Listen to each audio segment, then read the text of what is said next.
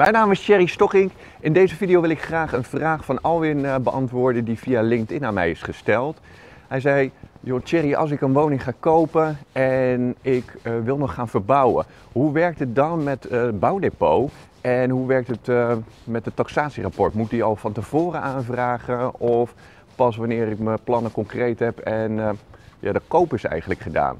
Nou, de eerste vraag, hoe werkt het met een bouwdepot? Als je bij een bank een, ja, aangeeft dat je een woning koopt van bijvoorbeeld 3 ton en je wil voor een ton gaan verbouwen, dan gaan ze dat geld op een soort van rekening zetten, een bouwdepot. En ja, dan krijg je dan een, een rentevergoeding over. Vaak net zoveel als dat je betaalt. Maar sommige banken zeggen ook, joh, ik trek daar 1% vanaf. Dus dan kost het eigenlijk geld als dat geld op een bouwdepot staat en nog niet wordt gebruikt door jou. En dan moet je dus met bonnetjes komen en dan kun je ja, dat bouwdepot leeg declareren, om het zo te zeggen. Maar die bank die wil wel zeker weten dat het geld wordt gebruikt ja, voor je verbouwing. Ik ga even uit het licht, zodat jullie mij beter kunnen zien.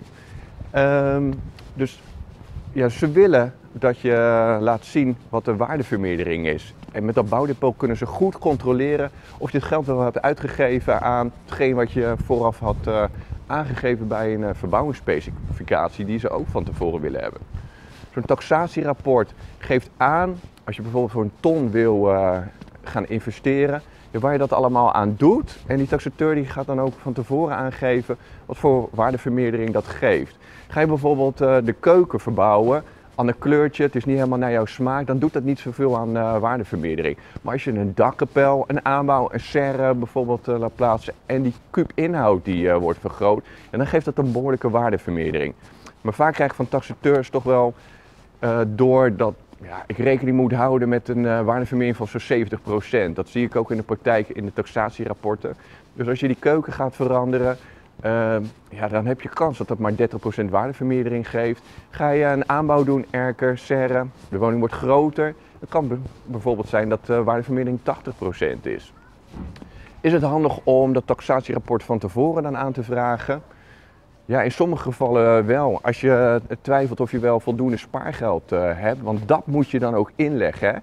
Als de waardevermeerdering maar 70% is, moet je dus 30% aan spaargeld extra bijleggen. Ja, bovenop je kosten kopen eigenlijk. Dus uh, het kan, als het spannend wordt met uh, het spaargeld, kan dus interessant zijn om te zeggen van ja, dan ga ik wel eerst een taxatierapport aanvragen. Ik ehm, ja, verwacht dit te bieden voor de woning. Ik verwacht een ton aan uh, verbouwingskosten. Taxateur kun je al vertellen wat de waardevermeerdering is, zodat ik daar rekening mee kan houden in mijn spaargeld.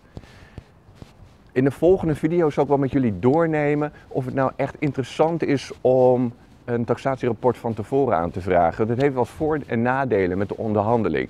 Dus check mijn volgende video.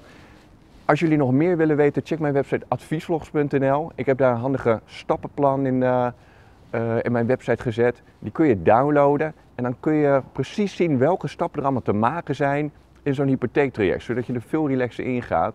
En ik heb ook een uh, checklist gemaakt. Kan je precies zien welke documenten je allemaal moet uh, verzamelen voordat je het traject ingaat. En een wegwijzer om je te helpen om je financiële mogelijkheden verder te onderzoeken. Dus check mijn website adviesvlogs.nl en ook mijn YouTube kanaal. Tot bij de volgende video.